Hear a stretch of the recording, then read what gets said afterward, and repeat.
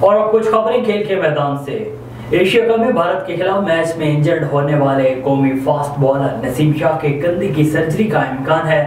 Pakistan cricket board के मुताबिक नसीम शाह को तिबी मुआयने और काबिल माहन से सलाह मशवरे के बाद कंधे की सर्जरी के लिए कहा गया है। उम्मीद की जा रही है कि फास्ट बॉलर को मुकम्मल तौर पर सेहतियाब होने में चार माह लगेंगे। इससे कबल पाकिस्तान क्रिकेट टीम के चीफ सिलेक्टर इंजमाम मुल्क ने वर्ल्ड कप के स्क्वाड का ऐलान करते हुए भी नसीम शाह की सेहत के हवाले से बताया था।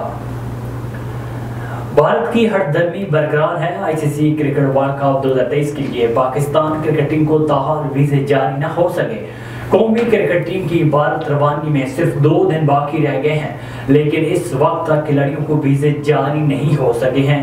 पाकिस्तान क्रिकेट बोर्ड ने इंटरनेशनल क्रिकेट कौंसिल को तमाम तर मुश्किल और परेशान कन सूरत से आगाह कर दिया है।